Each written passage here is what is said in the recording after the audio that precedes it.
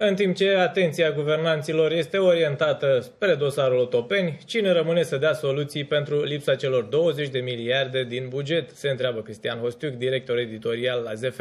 Rezolvarea condițiilor din PNRR poate fi o gură de oxigen pentru executiv. Guvernului nu ies veniturile prognozate în 2023 după analiza execuției bugetare la 3 luni și este nevoit să ajusteze cheltuielile bugetului general consolidat pentru a se putea încadra în ținta de deficit bugetar. Coaliția PNL-PSD parcă joacă un ping-pong constant în asumarea responsabilității atingerii acestor jaloane. Deficit de 20 de miliarde de lei sau doar o rectificare care nu ar trebui să sperie pe nimeni, cum spune Lucian Heiuș, director ANAF. Ultima dată, în 2010, când România a avut o situație similară, președintele Băsescu și guvernul Boc a au tăiat um, salariile bugetarilor cu 25% și au majorat TVA-ul de la 20 la 24%. În schimb, din 2019 până în prezent, aparatul de stat a crescut cu aproape 40.000 de persoane.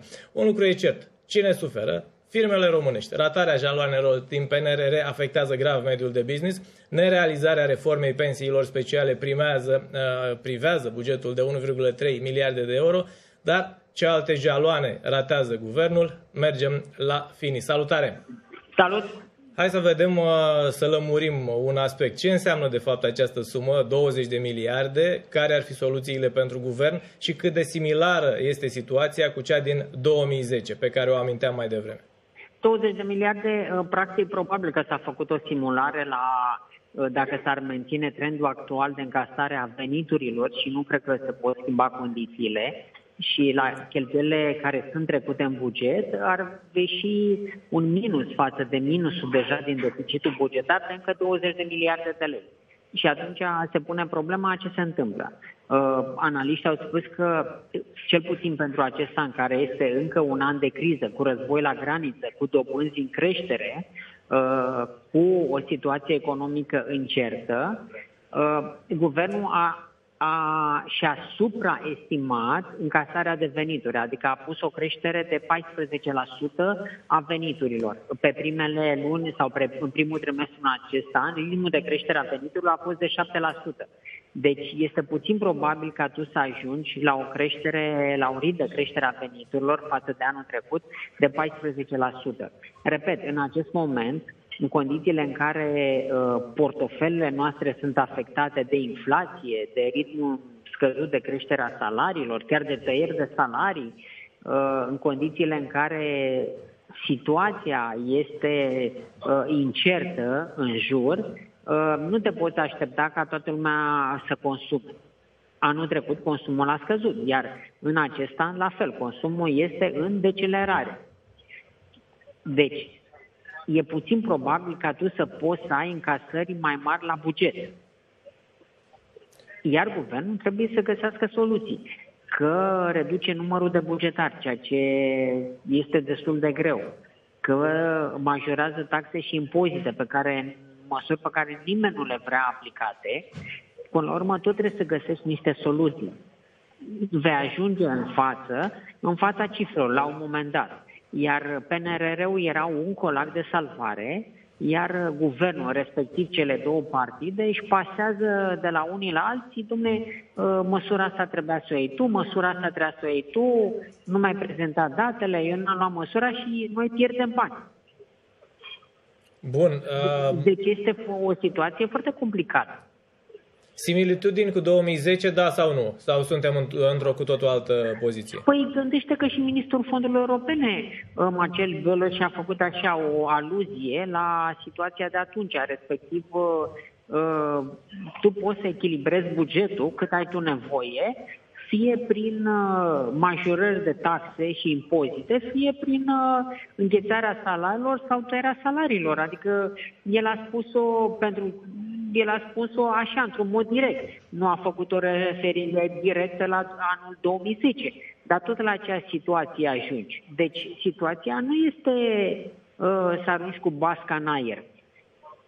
Bun, cum se protejează până la urmă mediul de business, că ăsta ne interesează foarte mai mult. Uh, trecem de la bugetare la uh, zona de afaceri. Cum uh, ar putea evita, eu știu, sau ar putea să um, se comporte mai bine într-o eventuală criză?